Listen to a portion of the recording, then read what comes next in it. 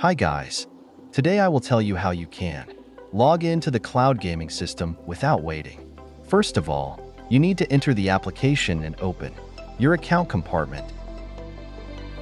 Wash down the bitter taste. Chaos is drowning out the melody When you scroll down a little in this section, there is this tab. that we used to bring us way. Write the code I left in the comments here.